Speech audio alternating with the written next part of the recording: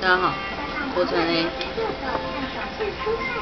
我有一个很大困扰，就是我又在录影啊，就是啊，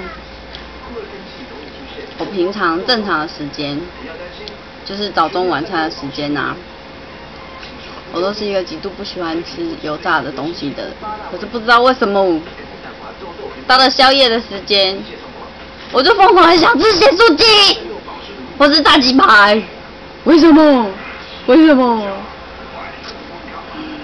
这样我到底要怎么瘦？我的老天呐、大家会有这种困扰吗？请作答。